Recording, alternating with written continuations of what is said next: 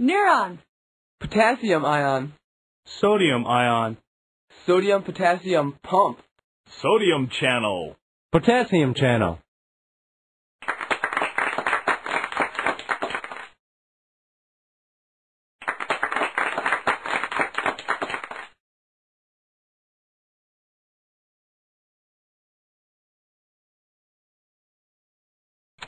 This is me, a neuron. I live inside your brain and nervous system. Neurons communicate with each other by using an action potential, which is a small pulse of electrical activity.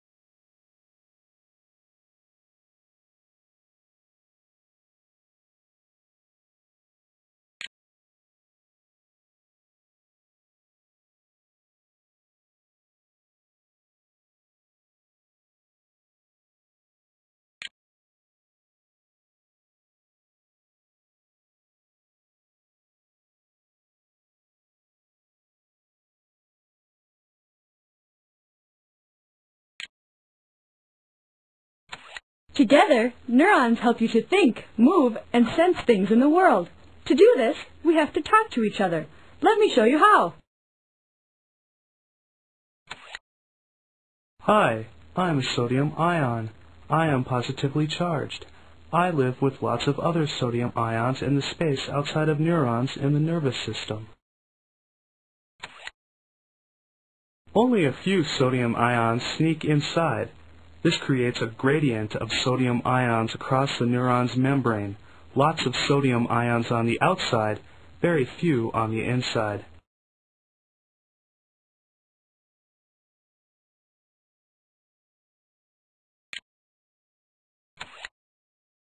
Hi, I'm a potassium ion. I carry a positive charge too. I live with lots of other potassium ions inside neurons. There aren't many potassium ions outside.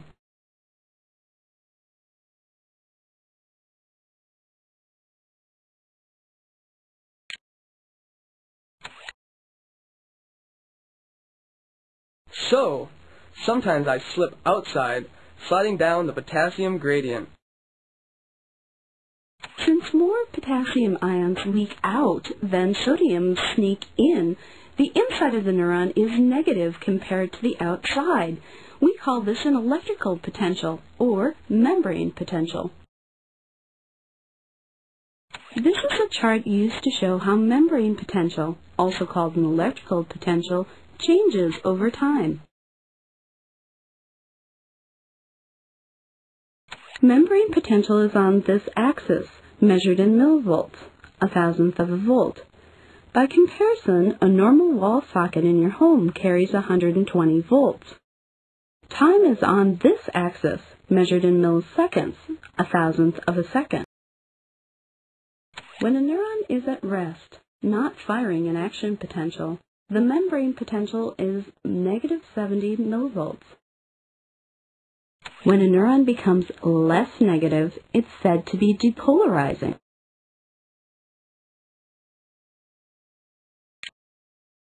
When a neuron returns to its resting membrane potential of negative 70 millivolts, it is said to be repolarizing. Repolarization can occur in either a positive or negative direction.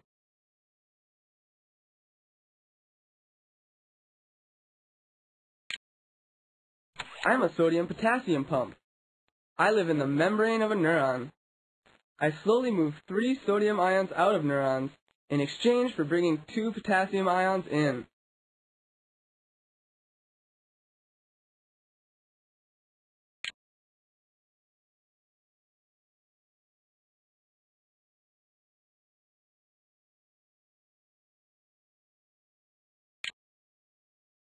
By separating these ions, a charge difference or electrical potential is built up across the neuron's membrane, called the membrane potential. As sodium slips in and potassium sneaks out, I take them back where they belong.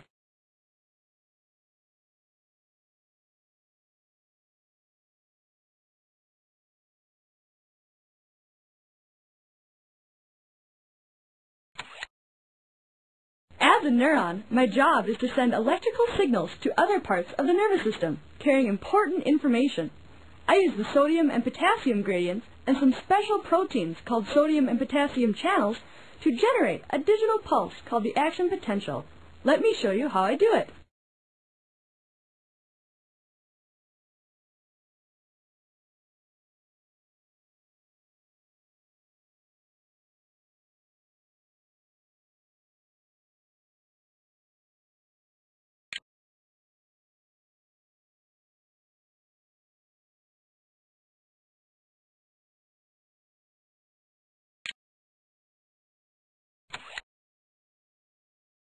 The membrane surface of my axon is filled with lots of sodium and potassium channels.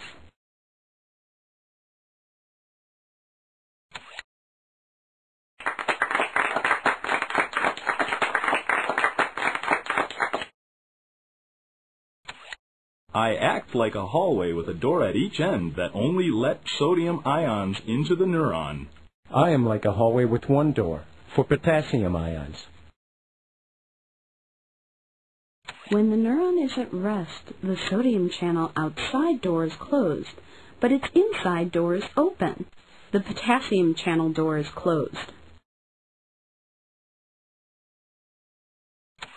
Depolarization opens my fast outside door. And sodium ions rush into the cell.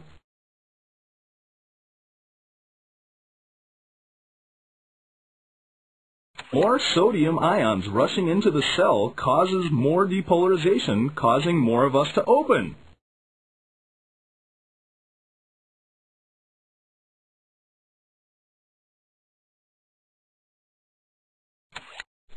membrane potential becomes more positive, depolarizes, to a level where the opening of sodium channels cannot be stopped. This is called the threshold for starting an action potential.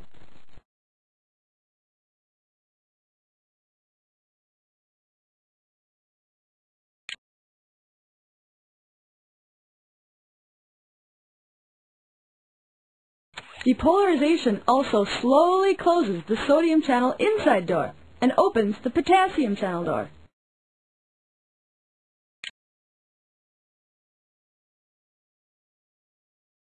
Now it's the potassium ions' turn. Down the concentration gradient they go.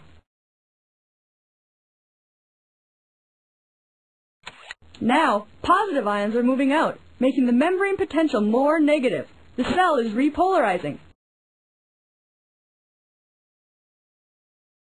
But as membrane potential repolarizes, becomes more negative, the potassium channel doors slowly close. The sodium channel outside doors rapidly close, and the sodium channel inside doors slowly open.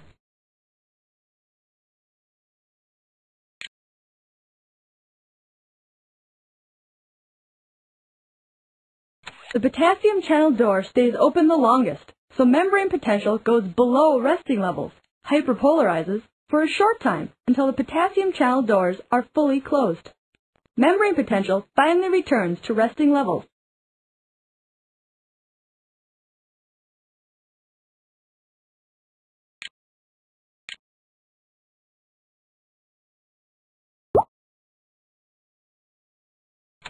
Finally, the sodium-potassium pump gets to catch up.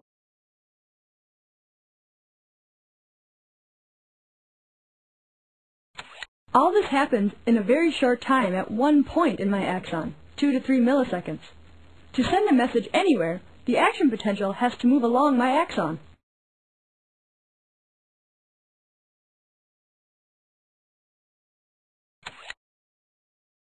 We help move the action potential along.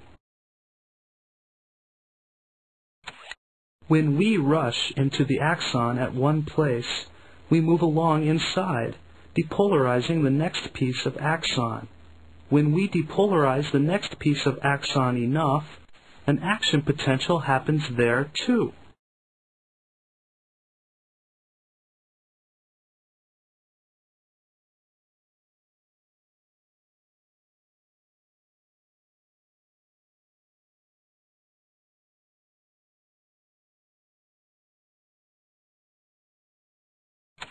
So the action potential happens over and over again all along the axon. It appears to travel from the cell body to the axon terminal. When the nerve terminal becomes depolarized, it spits out tiny droplets of neurotransmitter, a chemical that the dendrites of the next neuron can taste. Then the entire process is repeated in this next neuron. That's it. The inside story about how action potentials are generated.